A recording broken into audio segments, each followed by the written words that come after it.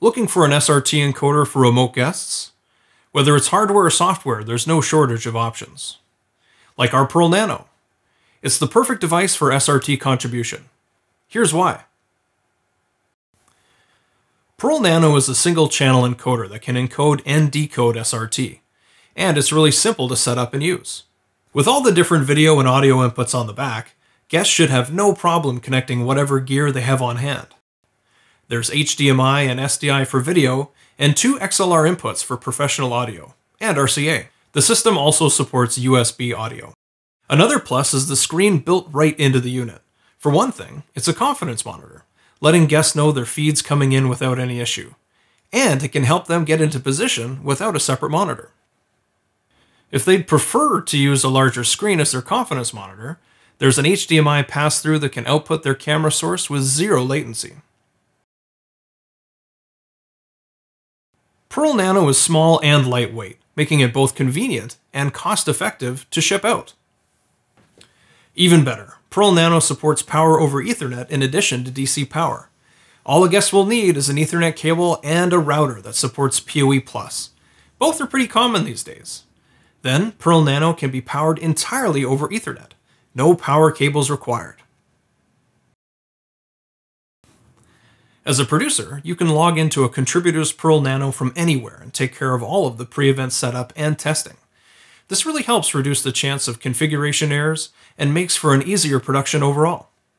You can also pre-configure your SRT stream before shipping out the unit. Then all your guest has to do is plug in their camera, mic, and Ethernet, and they're good to go. The actual setup of your SRT streams is super simple especially if you're using a Pearl 2 as your production encoder and Epiphan Cloud for remote access. Let me show you how it works. On the left-hand side, I've got my Pearl Nano, which I've actually got located just on my desk right here in front of me. And on the right-hand side, I've got Epiphan Cloud. We're going to look for our production encoder, which is a Pearl 2 and located in our Ottawa studio. Going to go ahead and add a new input. Look for that SRT input on here. Going to use listener mode and a port that I know is open and available on our network. Back over on the Pearl Nano, we're going to set up a new stream and look for that SRT push again. Go for caller mode. Here we're going to input the actual SRT address for our encoder in the studio, including that same port number at the end. Hit start.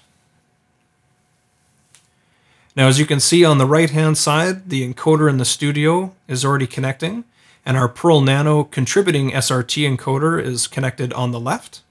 After about 20 seconds, we should start to see some statistics on the system. And that was pretty simple. Now we have our SRT connection coming in from our Nano contributor, and our production encoder in the studio is receiving that signal. And we can take a look at some of these statistics on here. Now you might need to make some small adjustments depending on your own bandwidth or the resolution that you're sending over SRT. And that's it.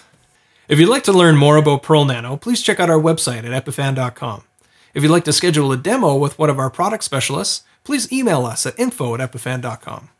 Thanks for watching.